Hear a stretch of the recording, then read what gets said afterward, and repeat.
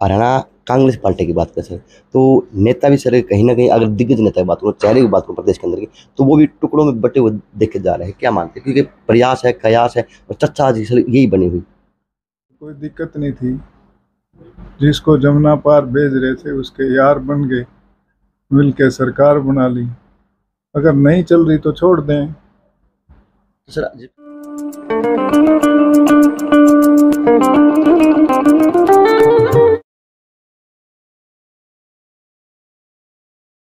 नमस्कार, मैं अजय।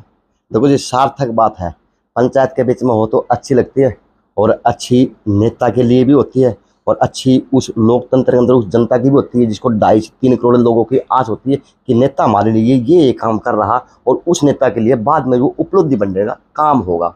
तो जी, कहीं ना कहीं आज अगर मैं साक्षात दर्शन करने पा रहा आपके सर, प्रोफेसर वीरेंद्र सिंह जी कि राजनीति सलाहकार रहे हैं और राजनीति सलाहकार भी वहाँ रहे हैं, जहाँ पे हरियाणा प्रदेश की राजनीति चलती हो।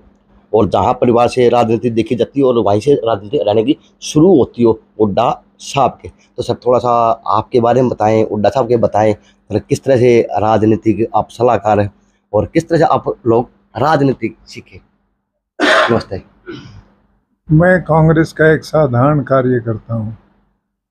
कांग्रेस अगली सरकार हरियाणा में बनाए, इसके लिए काम कर रहा हूँ। लोगों के बीच में जाके मैंने देखा, हरियाणा का जनमानस भूपेंद्र सिंह हुड्डा के नेतृत्व में अगली सरकार बनाने के लिए कृत संकल्प है और भारी बहुमत से अगली सरकार कांग्रेस की बनेगी। प्रोफेसर साहब, जिस प्रकार से आप राजनीतिक सलाहकार हैं और ऐसा तो है नहीं कि राजनीतिक सलाहकार को छोटी चीज़ हुआ है राजनीतिक सलाहकार को प्रतिनिधित्व काम करते हैं तो आज की जो राजनीतिक है चाहे वो भाजपा की है चाहे वो पर, पर प्रदेश की है चाहे सेंटर की है तो कहाँ देखते हैं प्रदेश की राजनीति की अगर बात करें तो? पिछले चुनाव में बीजेपी ने और जेजेपी ने कुछ वायदे किए थे और उनमें से एक भी पूरा नहीं किया दोनों पार्टियों काले धन का वायदा था महँगाई कम करने का वायदा था बेरोजगारी खत्म करने का वायदा था। वो वायदे पूरे नहीं किए। जेजेपी ने बीजेपी को जमुना पार भेजने का इक्यावन सौ रुपये बुढ़ापा पेंशन देने का वायदा किया था, वो भी नहीं किया। अब उन पे तो वोट मांग नहीं सकते। अब गैर मुद्दों को ही मुद्दा बनाने की कोशिश करेंगे। मैं तो ये कहता हूँ, इन्होंने कोई वायदा पूरा किया हो तो लोगों को इन्हीं की वोट देनी चाहिए। और भूपेंद्र सिंह हुड्डा ने कोई वायदा पूरा ना किया हो तो भी बीजेपी जेजेपी की देने चाहिए। हुड्डा जी ने कोई वायदा ऐसा नहीं किया जो पूरा ना किया हो, और इन्होंने कोई वायदा ऐसा नहीं किया जिसको पूरा किया हो। सर, आपने जेजेपी का ज़िक्र किया, भाजपा का ज़िक्र किया तो सर, जेजेपी की अगर बात करूँ तो मोदी साहब ने दो सौ बीस सिलेंडर के कम कर दिए। ये तो नई रक्षाबंधन पे उपलब्धि दी है बहनों को। और सर, अगर जेजेपी की बात करें तो उन्होंने ये एक सार्थक बात कर सकते हैं, उन लोगों के हर बार जहाँ पे इंटरव्यू वगैरह होते हैं तो उन्होंने कहा कि हमें को पूरी राजनीति तो मिली को नहीं? हमें तो आधे अधूरे मुख्य, उप मुख्यमंत्री बने तो हम जितना दे सकते हम उतना दे पाए। अब पूरी सरकार बनाओ तो हम देने का काम करेंगे, ये उनके विचार है, ये मानते हैं वो लोग। पूरी सरकार भी बन जाती अगर वो कांग्रेस का समर्थन कर देते तो। समर्थन तो बीजेपी का किया। अगर उनकी बात नहीं मानी तो छोड़ क्यों नहीं देते? हमने तो टेलीविज़न पे कहा था, भूपेंद्र सिंह हुड्डा जी ने, कि इनकी सारी शर्तें मंजूर हैं, क्योंकि कांग्रेस के घोषणा पत्र में भी लगभग वही घोषणाएँ थी। तो कोई दिक्कत नहीं थी। जिसको जमुना पार भेज रहे थे उसके यार बन गए। मिल के सरकार बना ली। अगर नहीं चल रही तो छोड़ दें। तो सर जिस प्रकार से प्रोफेसर आज की राजनीति कब कहाँ देख रहे हैं? आज की राजनीति जैसे मैंने कहा कि लोग दुखी हैं महँगाई से। आप सिलेंडर दो सौ रुपये कम करने की बात करते हो। मैंने करा गोदी मीडिया कर रही नेशनल मीडिया चल रहा मोदी जी करे भाजपा नेता करे सर। मेरा कहने का मतलब ये आपने मेरे से पूछा। जी सर। आठ सौ रुपये बढ़ा के और दो सौ कम करना कहाँ तक न्याय की बात है? क्या प्रदेश के और देश के लोग मूर्ख थोड़े ही हैं? वो सब समझते हैं।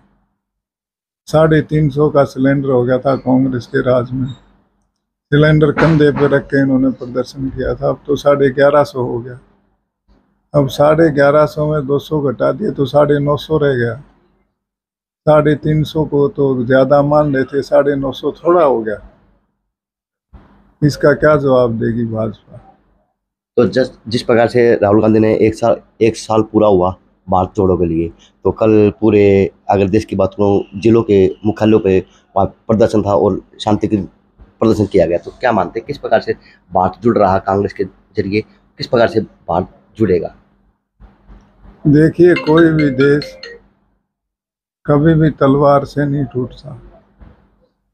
तलवार से गुलाम तो हो सकता है, टूटता नहीं। टूटता है विचार से। विचार भेद ना हो देश में। सब धर्मों और जातियों के लोग प्यार से रहें। इसके लिए राहुल जी ने बहुत सार्थक प्रयास किया। इसके लिए वो बधाई के पात्र हैं और जिसके अनुकूल परिणाम निकले देश में। प्यार और भाईचारे की बहुत ज़रूरत है देश में, इसके लिए उन्होंने बहुत अच्छा काम किया।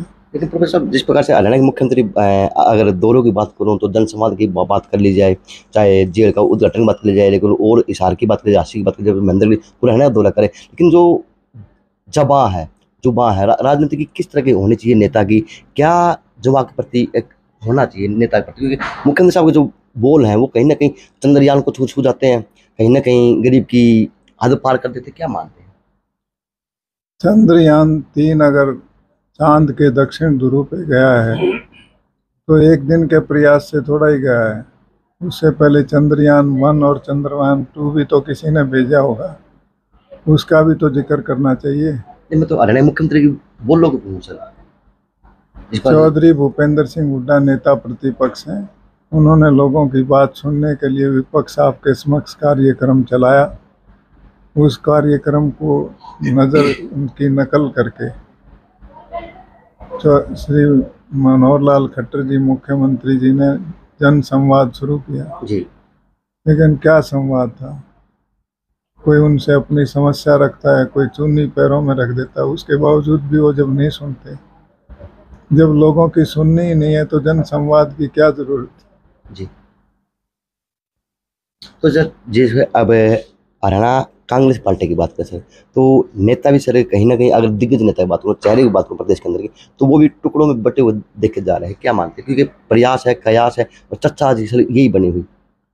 कांग्रेस एकजुट है, इसका उदाहरण आपको आगामी चुनाव में देखने को मिलेगा।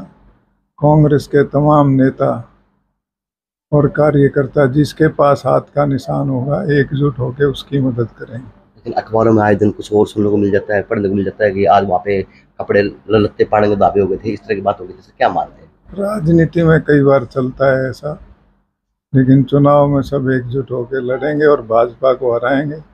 और दो तिहाई बहुमत से भूपेंद्र सिंह हुड्डा के नेतृत्व में कांग्रेस की सरकार बनाए तो साहब आपकी अब की बार के चुनाव दो हज़ार चौबीस चुनाव के अंदर क्या भूमिका मानी जाएगी? क्या भूमिका देख रही पार्टी और क्या भूमिका आप देने की सोच रहे हैं पार्टी को? पार्टी का जहाँ मेरे से जितना बन सकेगा कांग्रेस के उम्मीदवारों को जिताने का प्रयास करूँगा। प्रयास करेंगे। हाँ। जी नमस्ते। नमस्ते आप बताएँ तो आज आपके राजनीति उड्डा साहब के राजनीति सलाहकार यहीं बैठे हुए हैं। तो क्या क्या बात आप, आप रखेंगे हल्के के लिए? क्या क्या बातें करेंगे? क्या क्या बात चर्चा होगी पार्टी के ऊपर? किस प्रकार की मैं तो साहब से एक ही रिक्वेस्ट है कि भिवानी में सारी सीटें अब की बार कांग्रेस की हैं। बस प्रत्याशियों का चयन सही तरीके से कर लें। जनता ने मन बना रखा है हुड्डा साहब के नेतृत्व में सरकार लाने का। बस प्रत्याशियों का चयन सही हो जाए, सारी सीटें कांग्रेस की। क्योंकि सर, ये बहुत गहरी बात कही उन्होंने। अगर भिवानी की राजनीति की बात करूँ तो ये एक चर्चा बनी है कि उड्डा साहब जब मुख्यमंत्री थे तो यो पाकिस्तान भिवानी बल का काम हुआ था सिर्फ़ राजनीति की उसकी वजह से। तो अब की बार आप लोगों ने पेन निकाल रखी इसके ऊपर भी दूरियों को मिटाने का काम करना क्योंकि अशोक हसन बड़ी गहरी बात करती भिवानी के लिए।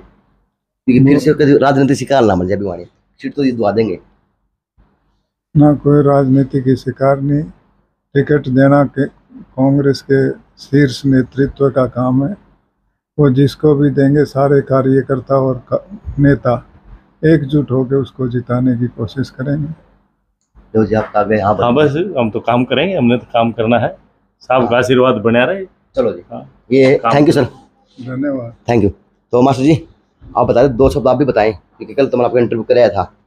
तो जिस प्रकार से कांग्रेस जुड़ रही, जिस प्रकार से कांग्रेस का फैलाव हो रहा, प्रदेश की बात करूँ, देश की बात करूँ तो क्या मानते हैं कि क्या, कितनी सीटों के ऊपर खेलेंगे, किस तरह खेलेंगे, क्या होगा? जनता को इतनी जल्दी है हमारे कार्यकर्ता इतने जोश में है, जैसे आप कह रहे थे ना, ये लड़ रहे हैं।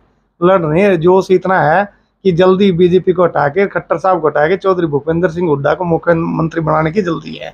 ये बड़ी कार्यकर्ताओं में बड़ी लगन है कि कल ही चुनाव हो जाए और जल्दी हम कट्टर साहब को हटा के चौधरी भूपेंद्र सिंह हुड्डा को मुख्यमंत्री बना दें। चलो जी सर एक सवाल और रहेगा लास्ट का। सर कितनी सीटें मानते हैं हरियाणा की अगर विधानसभा की बात हो तो आप क्या मा- मानते हैं फ़िलहाल? दो तिहाई बहुमत से ज़्यादा कितने भी आ सकते हैं। कम से कम दो तिहाई बहुमत यानी साठ सीट उससे ऊपर नब्बे तक कितनी भी आ सकती कितनी कर सकते चलो सर थैंक यू तो जी ये प्रोफेसर साहब थे जानने का मौका मिला और अशोक बासु घर पे आए हुए थे। क्योंकि ज़रूरी है जनता के लिए, ज़रूरी है राजनीति के लिए। ये तो बात की और साठ से ऊपर सीट का इन्होंने दावा करने का काम किया। क्योंकि राजनीतिक सलाहकार हैं पूर्व सीएम के जे एन सी से अजय नायक, पंकज सोनी खास रिपोर्ट।